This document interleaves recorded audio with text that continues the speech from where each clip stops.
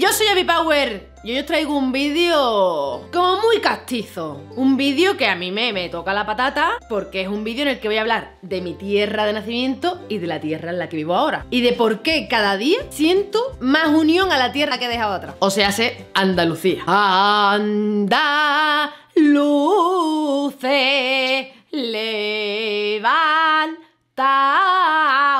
pero antes de empezar me gustaría darle las gracias a Letishop por patrocinar este vídeo. ¡Atento! Si compráis en Letishop Aparte de todos los chollazos que vais a encontrar por ahí, también podréis recuperar cashback, es decir, que os devolverán un tanto por ciento de lo que os gastéis en las compras. Letishop está disponible en aplicación, en página web y como extensión, que te ayuda a activar el cashback muy fácil. Y ahora que Letishop cumple 7 años, van a celebrarlo, atento, sorteando unos premiazos, un MacBook Pro, un iMac, un iPad Pro, un iPhone 12 Pro Max, un patinete eléctrico de Xiaomi, un PC de MSI y el último regalo no lo puedo decir porque se supone que es un mega regalazo y es sorpresa. ¿Cómo podéis participar? Pues haciendo compras a través de Letishop. Así de fácil. Cada compra es un ticket, así que cuanto más compréis, más posibilidades tenéis de ganar el sorteo. Ya está. Tienen más de 3.000 tiendas para comprar, como Shane, MediaMarkt, PC Componente, Plátano Melón, El Corte Inglés, Nike, y esta semana aumentan el cashback, o sea que os van a devolver más todavía. En algunas tiendas puede que llegue hasta el 30%. Chica, 30%, ¿eh? Lo que tenéis que hacer es entrar cada día para ver qué tiendas tienen super cashback. Os dejo en la descripción el link para que entréis y ahorréis dinerito en vuestras compras, que eso siempre viene muy bien. Y así aprovecháis el super cashback en más de 10 tiendas. O sea que está tirado de precio, vamos. Aprovechadlo, niños, me lo quitan de las manos. Si es que yo siempre os traigo cosas buenas os vais a quejar de mí. Y ahora sí, empezamos el vídeo de Madrid versus Andalucía.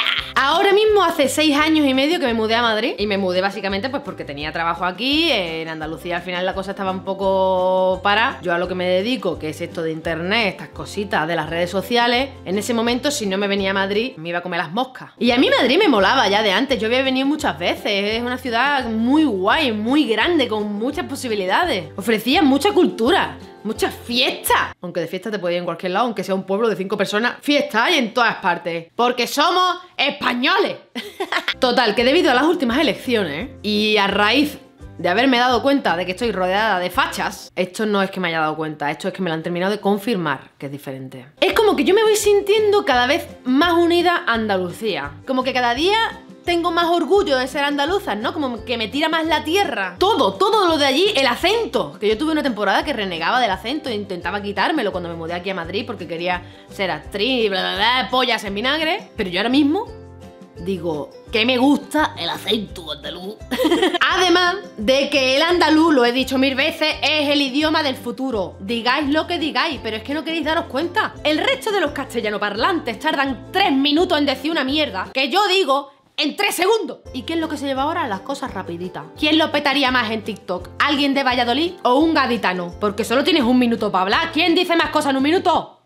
Entonces yo en este punto de mi vida tengo claro, que ya lo sabía de antes, ¿no? Pero ahora lo tengo muchísimo más claro, que yo quiero hacerme vieja en Andalucía. Me quiero jubilar allí. Porque facha, fachas hay en toda España. Pero se lleva mejor con unas tapitas y unos cubatas a 3 euros. Aparte lo de tener la playita cerca. La gente que hemos nacido cerca del mar, necesitamos el mar cerca. Esto es una frase de cuñado, pero es una verdad. Yo necesito ver la playa de vez en cuando, porque me vuelvo cucu. Yo necesito que a mí me dé el aire, aire que viene de ninguna parte. Que se paga menos por vivir, un poquito de calidad de vida. Que aquí en Madrid estamos peleándonos por conseguir un alquiler de mierda. Yo quiero un terrenito y una casita de madera y mogollón de bichos. Cabra, vaca, perro, gato, rana, tiburón. Viví tranquilita, si es que no hace falta tener mucho dinero. No hace falta ser la persona más importante de tu empresa. Calidad de vida, chiquillo. Tener lo justo para vivir y para poder permitirte un viajecito de vez en cuando o unas cañas con los colegas, ya está. Aunque es verdad que si me fuera a Andalucía no tendría la maravillosa agua de Madrid, que eso es una verdad. Todos los años de vida que te quita la contaminación, te los da el agua del grifo. A mí me gusta mucho comparar Madrid con Andalucía, ¿no? Te puede comparar en muchos términos, ¿no? Por ejemplo, la simbología. La simbología es muy importante, ¿no? Representa la tierra en la que está. ¿Y cuál es el símbolo de Madrid? El oso y el madroño. Llevo yo seis años y medio aquí en Madrid. ¿He visto un madroño? No. ¿Osos visualizados? Cero. Vamos a ser más consecuentes con los símbolos de nuestra tierra. Oso madroño. Que yo los vea. Aunque bueno, pensándolo bien, yo no he visto a ningún Hércules sujetando dos columnas en todos los años que vivió en Andalucía. Ojalá. En Madrid, por ejemplo, ¿qué es lo más típico de comer? El bocata de calamares. Con dos cojonazos. Es que manda huevos. Madrid, conocida mundialmente por lo bonitas que son sus playas. ¿De dónde vienen esos calamares? ¿Del Manzanares? Aunque bueno, con la de mierda que tiene el Manzanares, a mí no me extrañaría que cualquier día salga de allí un calamar gigante que destruya la Puerta del Sol y se coma a Ayuso, haciéndonos a todos un favor. Seamos consecuentes. ¿Cómo es típico de Madrid un bocata de calamares? No puede ser. Es como si yo digo que en Andalucía mm, es súper típico hacer barbacoas de canguro. Porque los canguros allí nos lo comemos así a pares. Es nuestra especialidad. Un cangurito así vuelta y vuelta. ¡Oh! Cosas que no me gustan de Andalucía. La Semana Santa. ¡Guapa, guapa, guapa! No soy yo muy fan, lo siento. Cosas que me gustan de Madrid. El orgullo. Que en verdad te pones a pensarlo y estas fiestas no se diferencian tanto. Porque al final en las dos hay muchísima droga y va gente desnuda a subir en una carroza. Luego otro punto para Madrid, la cerveza. Te pones a pensar en cerveza y a ver, la Mau pues gana la Cruz Campo. Pero luego te acuerdas que llega el alambre y la hace. Puñetazo mortal. ¡Ras! Y el vino, mira chicos, lo siento mucho, pero donde esté un buen vinito de Jerez, que se quite todo. Esas copitas de vino a un euro. Es que quien no es alcohólico es porque no quiere. Es que aquí la copa de vino blanco que te la han comprado en el chino de la esquina te cuesta 3.50 y encima te echan una mierda, dos deditos. Por 3.50, por 3.50 me echas la copa entera. No, no, no. Por 3.50, vamos, este poquito te lo queda tú y yo me quedo la botella. Una cosa que me encanta de Madrid, la gente. Eso sí es una verdad, que yo la gente que tengo aquí, Canelita en rama, la gente que tengo en Jerez, obviamente, los mejores del mundo. Pero es verdad que la gente que tengo aquí también vale muchísimo. Al final son mi familia de aquí, ¿no? Yo creo que eso es como el punto más fuerte de Madrid para mí ahora mismo. Cuando yo me quiera de Madrid, que eso será dentro de muchos años, pues lo echaré mucho de menos. O si no, mi plan malvado es de aquí a entonces convencerlos a todos de que Andalucía es mejor que Madrid. Para que cuando yo diga, chicos, me jubilo, me voy a Cádiz, eh, os venís todos conmigo y digan, pues sí, ya tocaba, Avi, ya era hora, estábamos esperándote.